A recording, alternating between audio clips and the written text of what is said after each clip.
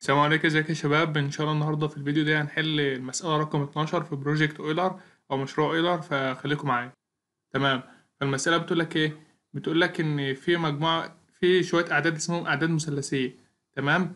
طيب الأعداد المثلثية مثلا العدد المثلثي رقم سبعة هو عبارة عن مين؟ هو عبارة عن مجموع الأعداد من أول رقم واحد لحد رقم سبعة. تمام؟ وبالتالي هيبقى قيمة العدد ده عبارة عن 28 طيب وبعد كده هو قال لك دلوقتي يبقى كده المفروض إن أول عشر أعداد هتبقى هي القيم ديت اللي هو واحد وبعد كده تلاتة وبعد كده ستة وهكذا يعني.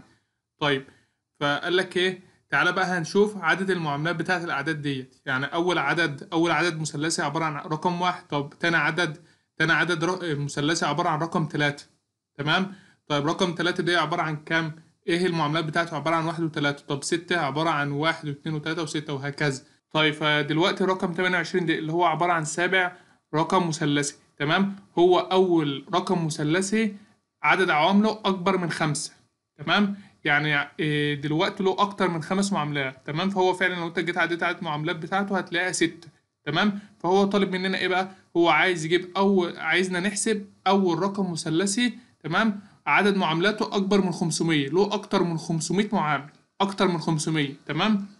طيب بص يا سيدي هو في بس دي مقالة كده أنا كنت قريتها يعني عن الموضوع ده فتعالى أنا هلخصك المقالة فلو أنت عايز يعني تقرأها وكده تمام فالفكرة فيها إيه؟ إحنا لو عندنا مثلا. أي عدد أي عدد كاف ماشي بحيث إن العدد ده هو طبعا إحنا اتكلمنا قبل كده في الفيديوهات اللي فاتت إحنا قلنا أي عدد في الدنيا عبارة عن حاصل ضرب مجموعة من الأعداد الأولية تمام فقال لك إن العدد كاف ده مثلا لو بيساوي مين؟ بيساوي ألف اس س في ب اس ص في ج اس ع تمام؟ بحيث مين؟ بحيث إن الألف والب والجيم دولت عبارة عن أعداد أولية تمام؟ لازم يكون أعداد أولية. طيب فيبقى بالتالي كده عدد معاملات العدد كاف ده عدد المعاملات بتاعت العدد كاف عبارة عن مين؟ عبارة عن س زائد واحد ماشي؟ في ص زائد واحد في ع زائد واحد. بس كده هو ده اللي إحنا عايزين نوصل له بقى. أنا معايا عدد المعاملات أنا عايز أوصل للعدد تمام؟ فدي الفكرة كلها. طيب فتعالى بقى نشوف هنعمل الكلام ده كله إزاي. طبعا الفكرة بتاعت المسألة ديت تقريبا هي جمع فكرتين اتنين تمام؟ جمع أول فكرة خالص في Project Euler اللي هو مجموع الأعداد لحد رقم معين تمام؟ اللي هو المسلسلة الحسابية. وتاني فكرة إن أنت إزاي تجيب الأعداد الأولية آه، معام- المعاملات الأولية لعدد معين. إزاي تجيب المعاملات الأولية لعدد معين تمام؟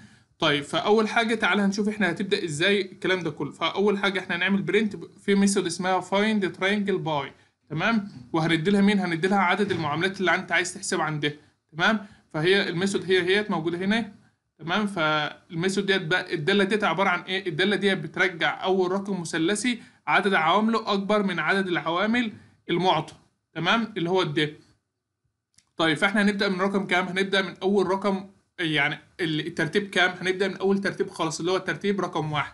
تمام؟ فبالتالي لو ترتيب رقم واحد هيديك اللي هو رقم واحد. ترتيب اتنين هيديك اللي هو رقم تلاتة. ترتيب تلاتة هيديك رقم ستة وهكذا. تمام؟ طيب بعد كده بعد كده بقى هندي في method اسمها get triangle at وهتدي لها ال index أو الترتيب بتاعه. تمام؟ get triangle at ديت نفس الكلام بت- بتدينا المجموع الأعداد لحد على حسب الترتيب تمام؟ طيب فطبعا يعني إيه دي جت حسبناها منين؟ ديت من أول مسألة في Project Euler أول مسألة خالص. دي جبناها من أول مسألة خالص تمام؟ حليناها قبل كده. طيب وبعد كده بعد كده بقى إحنا هنشوف هنجيب عدد المعاملات بتاعت العدد المثلثي اللي إحنا حسبناه ده أهو تمام؟ هنجيب عدد المعاملات بتاعته. لو طلع عدد المعاملات أقل من من ال- اللي أنا عايز أحسبه تمام؟ اللي هو اللي إحنا مد- مدينه في الدالة ديت تمام؟ هفضل شغال. أول ما هوصل لرقم أكبر من عدد المعاملات ده خلاص هرجع الرقم بقى اللي هو فعلا ده أكبر رقم أنا أقدر أوصل له وهو ده أول رقم فعلا عدد معاملاته أكبر من عدد المعاملات اللي هو يعني إيه معطى للداله طيب فهنعمل إيه؟ إحنا طبعا لو عدد المعاملات طلع أقل تمام؟ هنزود الإندكس أو الترتيب بتاعه واحد تمام؟ وبعد كده نحسب الرقم المثلثي عند مين؟ عند الإندكس الجديد ده. ونرجع تاني نعمل الحسابات تاني نفضل شغالين هكذا. طيب في method بقى ال method اللي هي فيها الشغل كله اللي هو get factor number تمام؟ آه، فدي طبعا إيه دي هتدينا مين؟ هتدينا عدد المعاملات اللي الرقم اللي أنت هتديهولي دلوقتي. تمام. طيب فال factors دي عبارة عن إيه؟ عبارة عن dictionary تمام؟ طيب هنبدأ طبعا أول حاجة أول رقم اللي هو رقم اتنين. طيب آه، دلوقتي أنت كم مرة بت... يعني إيه عدد المرات اللي الرقم ده بيتقسم فيها على اتنين كام؟ صفر. يعني لسه ما أعرفش إن الرقم ده بيتقسم على اتنين ولا لأ. فانا اول رقم طبعا اول عدد اول هبدأ اعمل عليه حسابات هو رقم اتنين.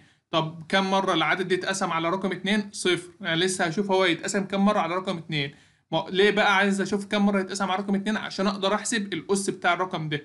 تمام؟ عشان أقدر احسب الأس ده. تمام؟ طيب فأول حاجة طبعا إحنا طبقنا نفس الكلام ده شرحناه قبل كده في في يعني مسألة رقم ثلاثة لو مش فاهم الكلام ده كله ارجع لمسألة رقم ثلاثة شرح فيها كل حاجة بالتفصيل. فهتطبق نفس الكلام ده. عشان أجيب مين؟ عدد المعاملات تمام؟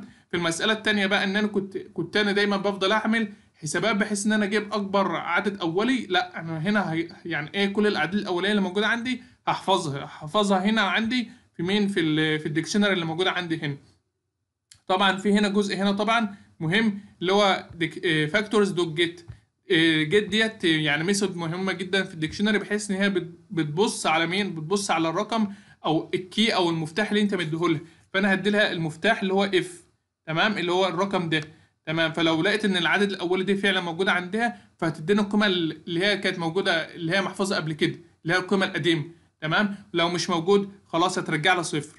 تمام؟ فدي مهمة جدا. عشان ما تديناش أي error ولا تدينا أي حاجة لو كان الرقم ده جديد ومش موجود قبل كده في ال dictionary اللي عندنا. تمام؟ طيب فبعد كده بعد كده بقى هناخد الرقم القديم ده. ونزود عليه واحد ونجدد بقى إيه نجدد ال factorials بتاعتنا يعني مثلا يعني مثلا لما لو في رقم مثلا شبه رقم ستة فهيبقى المفروض إن الستة دي هيتقسم على الاتنين مرة واحدة وهيتقسم على التلاتة مرة واحدة. تمام؟ فيبقى يبقى عندك dictionary عبارة عن اتنين وقيمته واحد ورقم وتلاتة وقيمتها واحد. تمام؟ وبعد كده بعد ما أخلص الكلام ده كله طيب فاقول factors dot value هتديني القيم اللي موجودة جوه ال dictionary مش المفاتيح هتديني القيم تمام؟ وبعد كده كل قيمة بقى من دولت هضربها في ال number of factors number of factors هنا فوق اهوت بيساوي واحد بعد ما بعد ما ازود عليها واحد تمام؟ بس كده فاضرب كل واحدة فيها بعد ما ازود عليها واحد وبعد كده ارجع مين ال number of factors طبعا لو انت عايز بقى مثلا تشوف ال factors اللي موجودة عندك وبيقسم كام مرة والكلام ده كله فاحنا ممكن نعمل الجزء ده. ماشي؟ بس كده فهو دي, دي الفكرة كلها. تمام؟ الفكرة كلها في الكلام ده. طبعا أنا بتكلم بسرعة يعني لو أنت مش فاهم أي حاجة زي ما قلت لك ارجع للفيديو رقم واحد والفيديو المسألة رقم واحد المسألة رقم ثلاثة في Project Euler وهتفهم الكلام ده كله. تمام؟ ما فيهاش أي حاجة جديدة المسألة دي. تمام؟ بس كده. فتعالى كده نجرب ونشوف الرقم اللي هيطلع لنا. تمام؟ ده الرقم اللي طلع. أهو. تعالى ناخده كده ونشوف. بسم الله. بس فهو دي يعني إيه حل المسألة كده؟ يعني هي المسألة يعني سهلة ما فيهاش حاجة. يمكن بس وأنا قلت لك قبل كده إن فكرتها يعني نفس فكرة المسألة رقم واحد المسألة رقم ثلاثة فهو ما فيهاش أي حاجة لما تقرأ الكود بس و...